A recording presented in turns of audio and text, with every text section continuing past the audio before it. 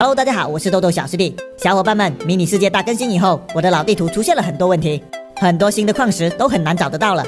像这种黄铜矿石，我一个都没发现，所以没办法，我只能重新再开一个全新的地图了。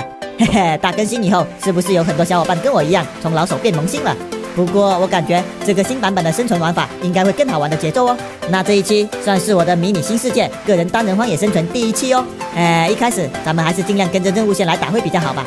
这一次的更新，我感觉基础材料变得更多了，像这些满山遍野的尖锐石头也算是新材料哦。还有，在我们出生地不远的地方，都会出现一个传送舱基地，然后如果运气比较好的话，它就是激活的状态；如果运气不好的话，就需要自己去找材料来激活了。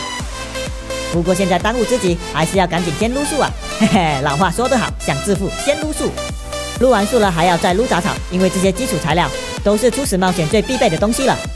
有了木头和石头，就可以做石斧了，哈哈，那只要斧头拿到手，咱们撸树就更方便了。哦，对了，现在树叶也是蛮必备的材料哦。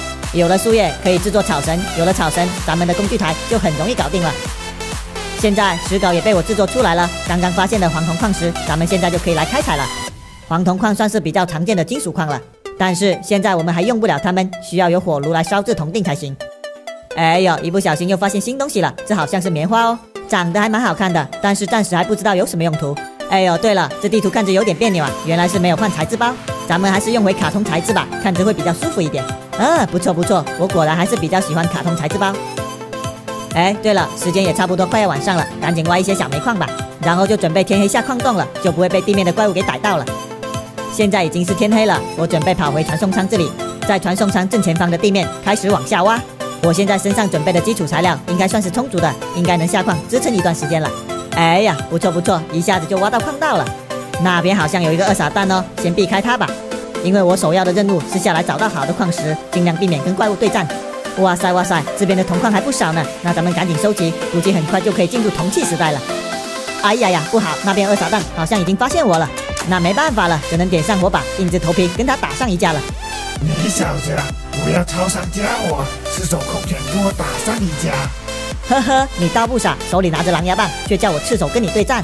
不过拳手打就拳手打吧，反正你是打不过我的。你不是说拳手打吗？怎么又超上石膏了？太不讲武德了吧？嘿嘿，跟你讲什么江湖道义，能宰掉你就行了。现在我找了一个僻静的地方，准备来生成工具台了。这个空的工具台是需要绳子和岩石块的，还算是比较容易制作的。